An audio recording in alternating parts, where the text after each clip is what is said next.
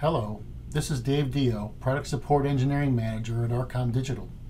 Today, I want to demonstrate the Navigator Plus buffer and its associated alarms. Simply put, if you hear three consecutive beeps,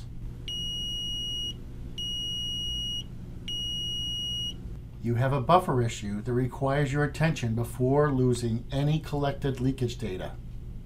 First, let's look at a couple of Navigator Plus settings.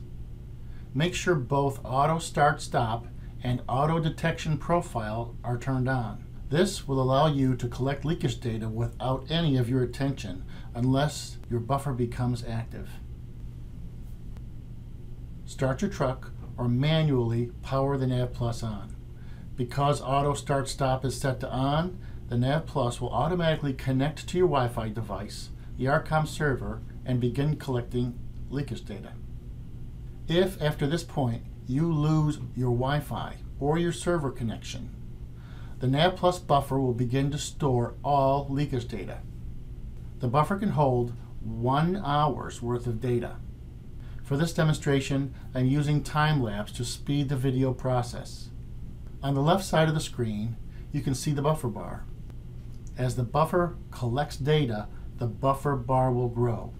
After 30 minutes of collecting leakage data, the buffer bar will turn yellow, and the NAV Plus will beep three times.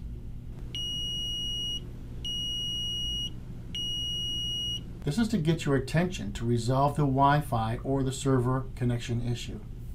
After 45 minutes, the bar will turn red and beep three times again.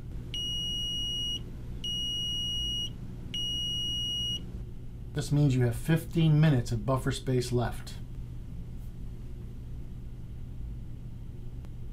At 55 minutes, the entire screen will turn red. Now you have 5 minutes to fix your Wi-Fi and server connection issue. If you attempt to turn the power off anytime the buffer contains data, the power down screen will turn red and the Nav Plus will beep three times alerting you that if you continue the power down process, you will lose buffered data. The correct response is to select No, return to detection mode, and fix your Wi-Fi and server connection issue.